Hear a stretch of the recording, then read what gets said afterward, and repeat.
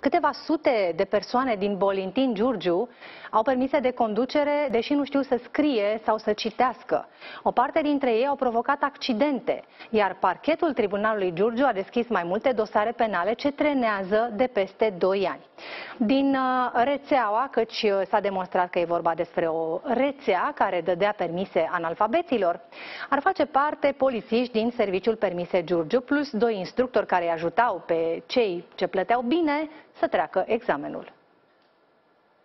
Majoritatea locuitorilor din Bolintin Vale știu că foarte mulți bolintineni au obținut permise de conducere ilegal. Foarte multe persoane. Foarte multe persoane? Foarte multe. Vă dați seama, dacă tu nu știi să citești, nu știi să te exprimi, nu știi cum ai putea să scrii sau să înveți, sincer. Da, ați auzit să obțin permise oameni care nu știu să scrie, să citească?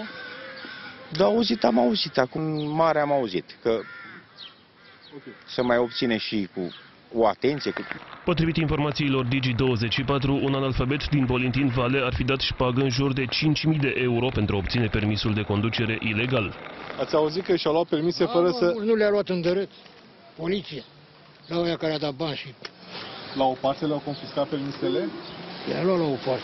Băi, Dacă nu corespunde, Oameni care nu știu să scrie, să citească, dau permise de conducere? să știe, singur. Rețeaua care intermediază permise analfabeților ar exista de mai bine de 5 ani, iar fi alcătuită din doi instructori auto care fac legătura clienților cu polițiștii de la Serviciul Permise Giurgiu. Șpaga se împarte între aceștia. Veriga importantă în rețea este polițistul din sală, unde se dă proba scrisă. Un intermediar al acestei rețele a povestit pentru Digi24 că analfabeții erau băgați în sală la sfârșit. Polițistul trecea prin dreptul calculatorului candidatului, citea întrebarea, după care îi arăta din spate pe degete care e răspunsul corect. Poliția din Bolintin a refuzat să vorbească cu echipa Digi24. Nu este deocamdată, este la parchet. La parchetul Giurgiu? La parchet aici. Când se întoarce, vorbiți cu noi. Cu altcineva din conducerea poliției putem vorbi? Aveți cu cine? Haideți. Întreaga rețea a fost deconspirată în urma unor accidente rutiere în care au fost implicați acești analfabeți. La audieri, polițiștii din alte județe au observat că unii șoferi din Bolintin nu știu să scrie și să citească. Așa au fost obligați procurorii parchetului de pe lângă Tribunalul Giurgiu să deschidă dosare penale. La nivelul parchetului de pe lângă Tribunalul Giurgiu sunt înregistrate cauze penale care au ca obiect obținerea în condiții suspecte a unor permise de conducere de către persoane care au domiciliul sau reședința pe raza județului Giurgiu.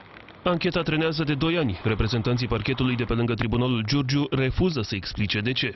Ce lămuriri de ceva putem obține? Putem sta de vorbă cu cineva?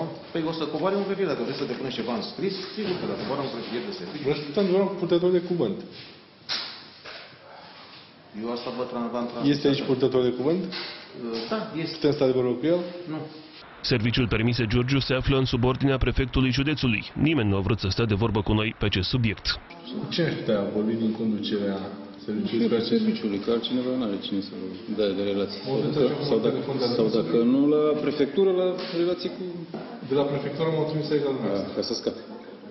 Un caz similar a mai avut loc acum 11 ani la Pitești. Mai multe vedete și chiar primari au obținut permise de conducere după ce au dat șpagă. Procurorii